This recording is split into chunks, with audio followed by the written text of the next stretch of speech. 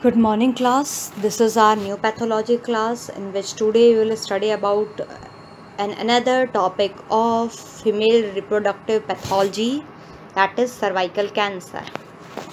Cervical cancer third most common cancer है women का world wide पूरे world wide third most common cancer है cervical cancer एक disease है जो कि काफ़ी धीरे धीरे शुरू होती है प्री कैंसरस कंडीशन के साथ में।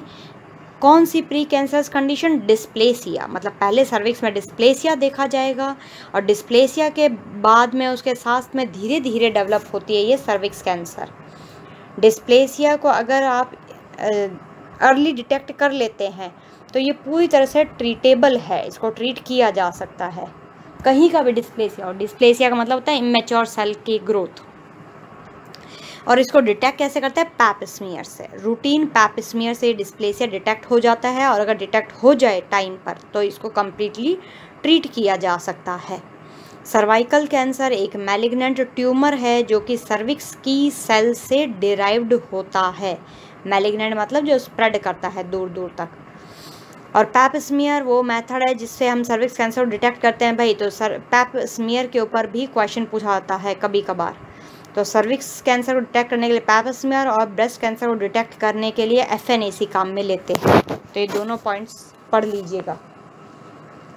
अब कुछ टर्मोलॉजी ऐसे जुड़ी, जैसे बायोप्सी क्या होता है? एग्जामिनेशन के लिए टिश्यू से स्मॉल सैंपल को रिमूव करना माइक्रोस्कोप में देखते हुए। एग्जामिन करने के लिए टिश्यू से स्मॉल सैंपल को रिमूव करना बायोप्सी कहलाती है। ये सर्वाइकल कैंसर के डायग्नोसिस और ट्रीटमेंट के भी काम आती है। प्री कैंसरस कंडीशन को भी ट्रीट वगैरह डायग्नोस वगैरह करने के काम आती है। कार्सिनोमा इन सिट्टू का मतलब होता है कैंसर की सेल जब एक ही जगह पर रहती है, कौन सी जगह? जहाँ से वो ओरिजिनेट हुई है। उसी जगह पर अगर वो कन्फाइंड रहती है और वो दूसरे टिश्यूज़ में नहीं फैलती है तो ऐसे कैंसर को कार्सिनोमा इन सिट्टू हम कहते हैं। ये ना टर्म याद रख लीजिएगा, मैं आगे पढ़ाऊँगी तो आपसे पूछूँगी कि ये एस क्या होता है कार्सोमा इंसिटू कॉल्पोस्कोपी एक डायग्नोस्टिक प्रोसीजर है जिसमें अपन हॉलो लाइटेड ट्यूब जिसको कॉल्पोस्कोप कहते हैं, वो काम में लेते हैं सर्विक्स और यूट्रस को अंदर से देखने के लिए। डिस्प्लेसिया एबनॉर्मल सेल्यूलर चेंजेस है जो कि आगे जाकर के कैंसर का रूप ले सकता है।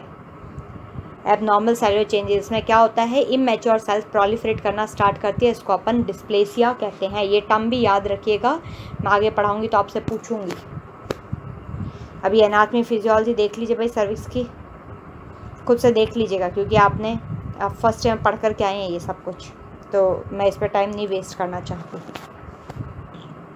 ये सर्विक्स अगर नीचे से देखा जाए तो ये इसका एक्सटर्नल ओएस दिखाई दे रहा है आपको। ये सर्विस यहाँ पर बड़ा करके इसके नीचे से पार्ट को दिखाया गया है। अब डेफिनेशन, सर्वाइकल कैंसर। ये एक मेलिग्नेंट ट्यूमर है जो सर्विक्स यूटराई की सेल से डिराइव होता है। सर्विक्स यूटराई क्या होता है? सर्विक्स के यूट्रस का लोअर पार्ट होता है, जिसको आप वॉम्ब की, नेक भी, कोख की गर्दन। कोख की नेक भी कह सकते हैं फीमेल रिप्रोडक्टिव ऑर्गन में नेक ऑफ़ द वॉर्म यानी यूट्रस का लोअर पार्ट जिसको सर्विक्स यूट्राई कहते हैं, उसकी सेल से डिराइव्ड होता है एक मेलिगेंट ट्यूमर जिसको आप क्या कहते हो सर्वाइकल कैंसर कारण, सबसे बड़ा कारण है इसका एचपीवी का इन्फेक्शन ह्यूमन पैपिलोमा वायरस ये कॉमन ह्यूमन पैपिलोमा वायरस से अगर इन्फेक्शन हो जाए 90 परसेंट ये सर्वाइकल कैंसर सभी तरह सर्वाइकल कैंसर के लिए यही रिस्पॉन्सिबल देखा गया है। लगभग आधे आधा जो एस होती हैं, उसके थ्रू ये एच जो है वो सर्वाइकल कैंसर वो फैल जाता है और सर्वाइकल कैंसर को कॉज करवा देता है। सेक्सुअल हिस्ट्री इसके अलावा दूसरा कारण हो सकती है सर्विस कैंसर का, कि भाई विमेन में higher than average risk of developing cervix cancer if she कुछ फीमेल्स में सर्विक्स कैंसर के रिस्क तब बढ़ जाता है जब उनमें अगर वो मल्टीपल सेक्सुअल पार्टनर्स रखती हैं। या उनका सेक्सुअल रिलेशन 18 ईयर की एज से पहले स्टार्ट हो जाता है, जो नहीं होना चाहिए।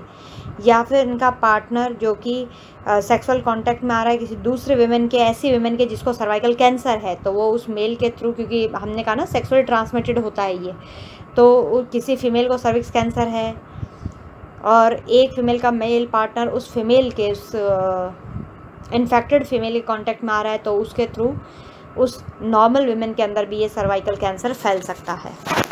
रिस्क फैक्टर्स में स्मोकिंग बहुत बड़ा कारण है। इम्यून सिस्टम जिनका वीक होता है तो इन्फेक्शन होने का खतरा बढ़ जाता है। कई सारी प्रेगनेंसीज जिनमें हुई होती है। यंग एज के अंदर, बहुत यंग एज में के अंदर जो प्रेगनेंसी कैरी कर लेती है, बच्चे को जन्म देती हैं या लॉन्ग लंबे समय से कॉन्ट्रासेप्टिव पिल का यूज़ करें। देखिए कॉन्ट्रासेप्टिव पिल का कितना नुकसान है। ज़्यादा ज़्यादा लॉन्ग टाइम के लिए इसको नहीं लेना चाहिए। या जिनमें फैमिली हिस्ट्री है तो सभी कैंसर में अपन पढ़ते हैं कि फैमिली हिस्ट्री रिस्पॉन्सिबल होती है। अब पैथोफिजियोलॉजी देखते हैं अपन सर्विक्स कैंसर की। उससे पहले साइन सिम्टम देखिए भाई, कि रेगुलर मेंस्ट्रुअल पीरियड के दौरान ब्लीडिंग होना स्टार्ट हो जाती है। पीरियड के दौरान का मतलब जो मैंस एक मैंस्ट्रुअल साइकिल चली और उसके बाद दूसरी मैंस्ट्रुअल साइकिल चली मतलब एक बार मैंसेस हो गए, एक बार पीरियड स्टार्ट पीरियड आके कंप्लीट हो गया। और दूसरा पीरियड अब कब आएगा? ट्वेंटी एट डेज़ के बाद में, एक महीने के बाद? फिर वो एक महीने से पहले ही हो जाए मतलब फिफ्टीन डेज़ टेन डेज़ के बाद ही अगर ब्लीडिंग स्टार्ट हो जाए तो ये साइन सिम्टम है सर्विक्स कैंसर का। इसके अलावा सेक्सुअल इंटरकोर्स के बाद ब्लीडिंग हो रही हो, डचिंग या पैल्विक एग्जामिनेशन के दौरान ब्लीडिंग हो रही हो। मेंस्ट्रुअल पीरियड अगर बहुत लंबे चल रहे और बहुत हैवी चल रहे हो पहले से, भाई पहले नॉर्मल चलते और बाद में अचानक ऐसे देखने को मिल रहा हो अक्सर कि बड़े लंबे और बड़े हैवी चल रहे हैं, जिसमें ज़्यादा फ्लो हो रहा है मैंसेस का तो वो भी साइन सिम्टम है सर्वाइकल कैंसर का, या मीनोपॉज के बाद भी ब्लीडिंग हो रही है वेजनल डिस्चार्ज अगर बढ़ गया है और पैल्विक पेन हो रहा है तो ये सब साइन सिम्टम है सर्विक्स कैंसर के। असेसमेंट और डायग्नोस्टिक फाइंडिंग देखिए तो मैंने बताया पैप टेस्ट इसके लिए पैप स्मीयर करवाया जाता है। ये रूटीन स्क्रीनिंग है सर्वाइकल एबनॉर्मेलिटी को डिटेक्ट करना, करने के लिए। ये कैंसर को अर्ली स्टेज में डिटेक्ट कर सकता है। कैंसर को भी और प्री कैंसरस कंडीशन यानी सीआईएस को भी। जो कि आगे जा कर के हो सकता है इन्वेजिव डिज़ीज़ में। कार्सोमा इंसेटो आगे जा कर के हो सकता है इन्वेजिव डिज़ीज़ यानी इन्वेजिव कैंसर में कन्वर्ट हो जाए, उसको भी आप अर्ली स्टेज में डिटेक्ट कर सकते हो। जो प्रोसेस है, वो पैप टेस्ट से शुरू होता है और इसको अपन क्या कहते हैं पैपस्मियर कहते हैं। पैपस्मियर देख लीजिए भाई, इसमें सेल जो है, वो सर्विक्स से स्क्रैप करके निकाली जाती है। फिर उसको माइक्रोस्कोप के नीचे एग्जामिन करते हैं ताकि अपन डिज़ीज़ को या दूसरी प्रॉब्लम्स को चेक कर सकें। ये सर्विक्स को पहले व्यू किया जाता है स्पेक्यूलम के द्वारा पेशेंट में लिथोटॉमी पोजीशन पे लेटा करके और फिर अपन उससे सैंपल लेते हैं ड्रॉ करते हैं। इसके अलावा ह्यूमन पैपिलोमा वायरस का डीएनए टेस्ट कर सकते हो। पैप टेस्ट की तरह ही एच पी डीएनए टेस्ट जो है, उसमें भी सेल्स को अपन कलेक्ट करते हैं सर्विक्स से और लैब टेस्टिंग में उसका डीएनए टेस्ट किया जाता है। ये कॉल्पोस्कोपी बताए गए भाई। कॉल्पोस्कोप इल्यूमिनेट करता है सर्विक्स को बायोप्सी के लिए और फिर अपन फॉरसेप का यूज़ करते हुए सर्विक्स से सैंपल ले लेते हैं और फिर इसको चेक करते हैं। ये कौन बायोप्सी है। Cold cone biopsy. टिश्यू का लार्ज एरिया सर्विक्स के चारों तरफ़ के टिश्यू का लार्ज एरिया जो है वो काट करके एग्जामिन करने के लिए लिया जाता है। तो ये देखिए स्पैक्यूलम से अपन पेशेंट को आ, देख रहे हैं उसके सर्विक्स का व्यू कर रहे होते हैं लिथोटोमी पोजीशन में लेटाने के बाद। इसके अलावा चेस्ट एक्सरे दिखाया गया है। सीटी स्कैन आप कर सकते हो एमआरआई करवा सकते हो और पैल्विक अल्ट्रासाउंड भी करवा सकते हो। अब देखिए, पैथोफिजियोलॉजी जहाँ पर आपको लिखनी है, वहाँ पर वो चार्ट बनाना होता है तो वो ये है चार्ट। तो इसके अंदर अपन सर्वाइकल कैंसर की स्टेजेस बता रहे होते हैं। इनको स्टेजेस को पढ़िए। देखिए, इसकी पाँच, चार पाँच स्टेजेस होती हैं। स्टेज वन में जो कैंसर है, वो सर्विक्स तक ही कन्फाइंड रहता है, जबकि स्टेज सेकंड के अंदर ये कैंसर जो है वो सर्विक्स और यूट्रस को कवर कर लेता है, पर पैल्विक वॉल तक नहीं फैलता, ना ही वेजाइना के लोअर पोर्शन तक फैला होता है। स्टेज सेकंड में, जबकि स्टेज थर्ड में ये कैंसर सर्विक्स से बियॉन्ड मूव कर जाता है सर्विक्स और यूट्रस से बियॉन्ड चला जाता है पैल्विक वॉल तक पहुँच जाता है और वेजाइना के लोअर पोर्शन तक फैल जाता है। स्टेज फोर्थ में कैंसर जो है वो आसपास के ऑर्गन्स तक चला जाएगा, जैसे ब्लैडर रेक्टम और इसके अलावा दूसरे एरियाज़ बॉडी के दूसरे एरियाज़ यानी डिस्टेंट एरियाज़ में भी इसका मेटास्टासिस हो जाता है, जैसे लंग्स लिवर और बोन्स तक ये फैल जाता है। तो ये चार स्टेजेस होती है सर्विक्स कैंसर की, जो आपको पैथोफिजियोलॉजी के अंदर लिखनी है।